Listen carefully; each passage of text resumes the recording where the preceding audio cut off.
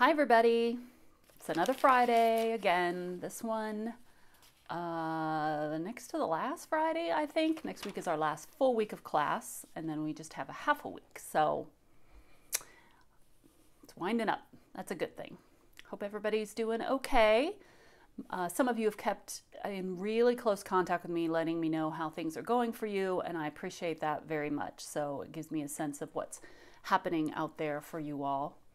I am going to, uh, when I send you the email Sunday night, like I do with the week schedule, I'm going to put a link to a quickie two question Google Docs survey that I'd like for you to fill out. The first question is um, just kind of a general what are you needing right now, either from me for academics or just kind of tell me how you're doing. Um, what are you needing right now? And then the second question I'm going to ask is ask me anything. And that's meant to be just kind of the part engagement, part give people a chance to anonymously ask questions that maybe they don't feel comfortable asking. Um, maybe it's about psychology or coursework. You can ask me anything. What kind of treats do my dogs like? Uh, what color's my house? You know, it, really anything, anything at all. So I will put that in Sunday night's email along with the schedule for the next week. Also, in that schedule is going to be information about the alternative final that I'm offering um, to you. I am finalizing that this weekend and I will put all the information. You will have enough time to do it because finals start not next week, but the following week late. But I'm going to give extension. You know, the day that our final is scheduled is not going to be necessarily the day it's all due unless it's the last day of finals. I don't know if there's any of my classes. So you'll have enough time to do it, is the bottom line. You do not have to let me know if you want to take the actual final exam or if you want to do the alternative. The, the final will be available um, through Blackboard like all the other exams have. So if that's what you want to do, that's totally fine. So, okay.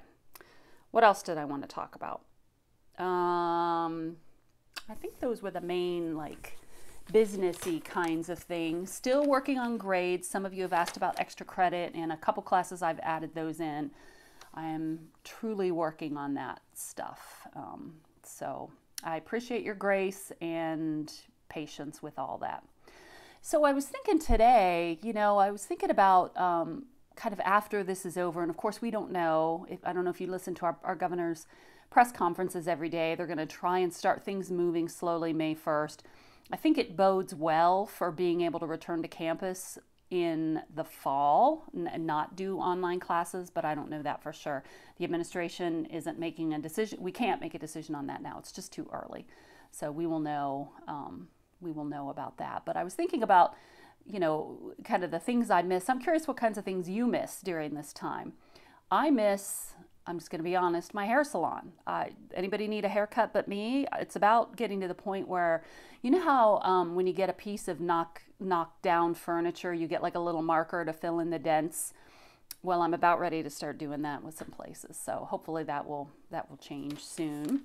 Uh, I miss going out to eat. I have celiac disease. I don't know if many of you knew that, so I'm gluten free.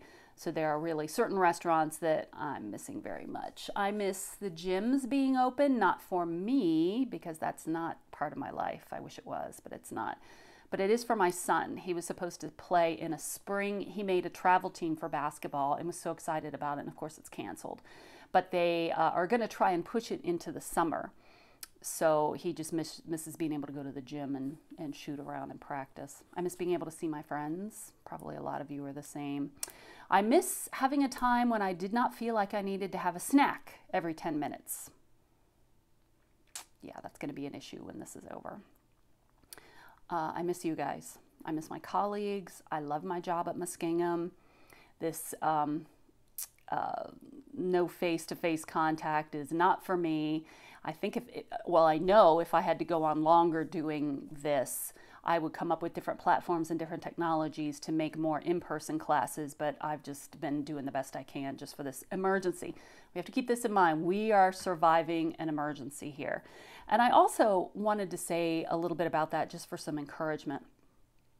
I'm not going to get too TMI here, but uh, I, I'm older than you guys. I've had more experience than you guys. And I have lived through some hard, hard things, things that I really wasn't sure my broken heart was going to survive. Hard. This is not the hardest. Uh, for some of you, it may be the hardest thing you've ever gone through. And I'm, I'm sorry for that. And I'm sorry for those of you that this is not the hardest thing. But what I can tell you, after surviving lots of things, I really just wasn't sure I'd be able to, you know, I, I just didn't, I just, I didn't know how I was going to get through that time. You will look back on this time, I guarantee you, and say, wow, you'll be impressed with yourself that you got through this.